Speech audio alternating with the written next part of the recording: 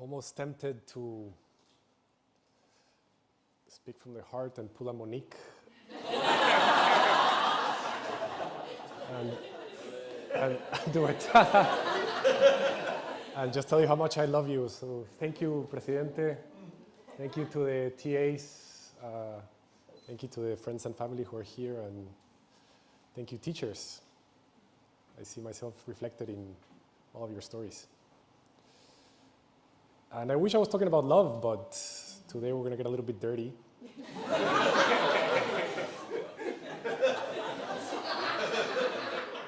and we're going to talk about impurities. And this is a little story about purification. And it all started, this story takes place about two years ago in my second favorite coffee shop in New York City, near Union Square. My favorite coffee shop now being the Three Jewels Cafe.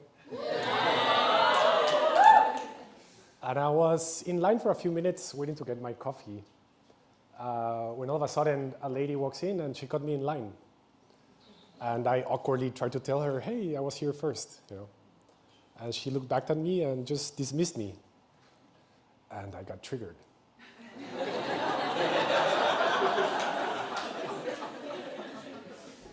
if you're a New Yorker, I'm sure you've faced some of that. But I knew the second register was about to open, so I then cut her in line. and I felt proud. Because I showed her, you know, we lead.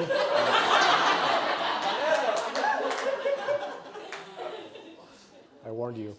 So, so this is me telling my friends immediately uh, about my little victory. But if you can judge me by my, the timestamps, pretty soon I felt embarrassed. Um, and I started breaking down exactly what happened. Like, why did this little thing bother me so much? Like, why did she touch in me that I reacted this way? And you see, I've always been fascinated with the human mind, with mostly with other people's minds. I grew up in a big family, uh, so I've always been fascinated with people, with understanding them. Um, and I've been a good student of it. the best books on conflict resolution and negotiation will teach you uh, how to become a better operator in life. They'll teach you about power dynamics, about how to become a master at influence. And the really good ones will focus on people and how to understand them, how to become a master of that influence. But what they can't teach you is about yourself, because they might give you that 50%, but you have to bring that other 50% and do the work.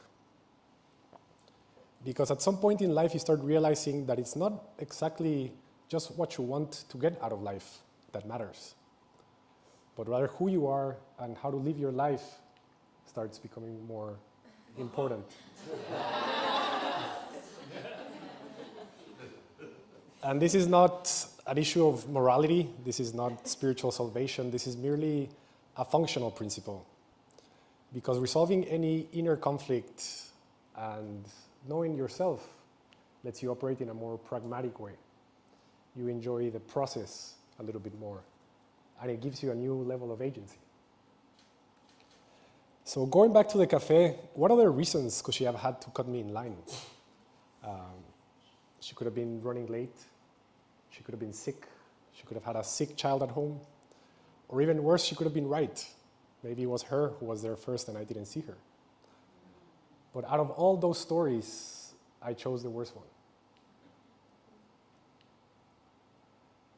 Because rarely do we see the truth of things. We don't react to what happens. We react to our perception of what happens. And of all those stories, I chose the worst one. But the thing is, I didn't really choose it. My mind there jumped there automatically, out of habit. The Buddha said, with our mind, we create the world. And one thing is to know that, but the other one is to know it viscerally and to truly understand it. Because if things are coming at you and you're reacting, you're a victim and you're spiteful. But once you realize you're the owner of those feelings, you're the source of those feelings, that's power.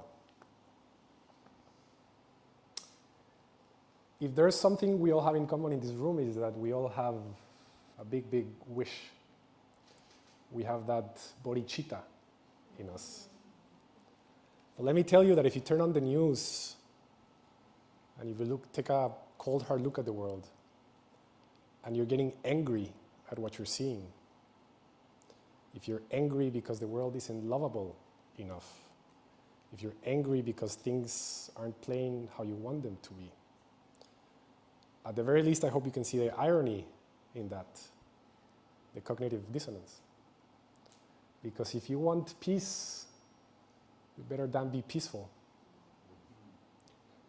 And once you're a being of peace, once you are in love with the world, once you're a statement of love, now you can get angry. And that's very different.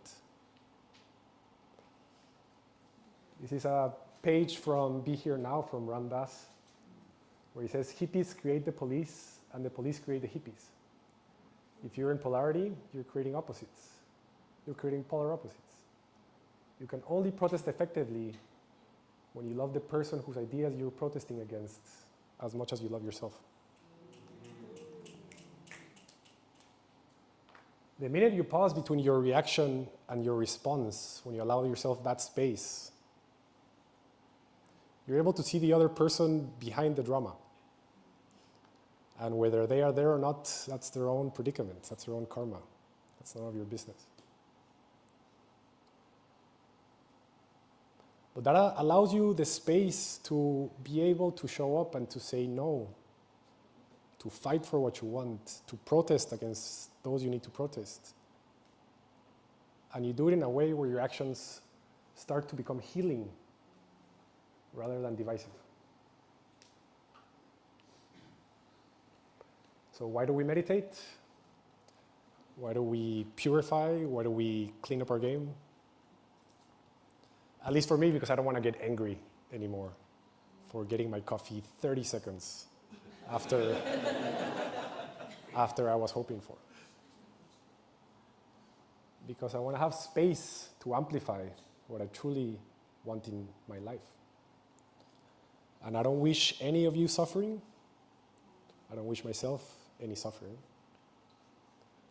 But if it comes and when it comes, I wish you the grace that comes from that. And the next time that somebody gets me angry, thank you. thank you for showing me where I lack. Thank you for showing me where my work is. Thank you for showing me that I get angry because things are not exactly like I want them to be. And I meditate and I purify because at some point you just get tired of it. Because you want to move on. Because you realize that what you want in life, more than winning, more than getting what you want, more than getting your coffee on time, is to be free. And thank you for coming to my Met Talk.